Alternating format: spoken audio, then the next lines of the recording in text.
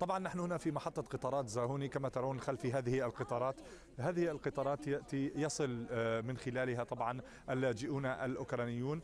هناك مدينة قريبة يمكن أن آه، أن نرى نشاهد هذه أحد القطارات القادمة من آه، طبعا مدينة آه، من من أوكرانيا. هذه القطارات بطبيعة الحال تقول لاجئين أوكرانيين. يمكن أن نقول أن زاهوني هي المحطة الأولى للاجئين الأوكرانيين. سندخل إلى داخل هذه المحطة وهنا أيضا هذه عائلة وصلت للتو من أوكرانيا. طبعا العائلات التي تصل إلى هذه المحطة المحطة هنا. يتم استقبالهم كما ترون خلفي هناك بعض المنظمات سواء آه، التي تعمل بشكل آه، آه، تطوعي بشكل منظم أو الأشخاص الذين هم من مدينة زاهوني يقدمون هذه المساعدة بشكل شخصي.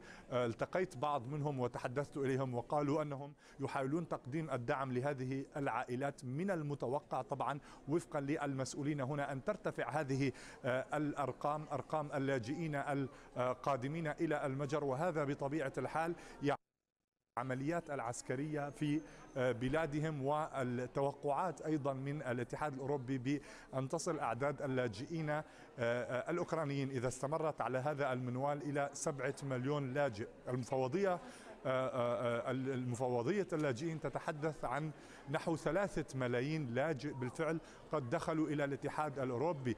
في المقابل هناك الآلاف لا زالوا عالقين داخل أوكرانيا بانتظار الوصول إلى دول الجوار سواء من خلال المجر هنا حيث نحن أو من خلال دول أوروبية أخرى أو دول حدودية مع أوكرانيا. طبعا كما ترون هنا يبدو الآن أن هذه هذه النقطة هي شبه فارغة أو توجد القليل من العائلات وهذا الأمر مرده بطبيعة الحال إلى أن العائلات التي كانت تنتظر في الخارج هي تريد الانتقال الآن إلى بودابست.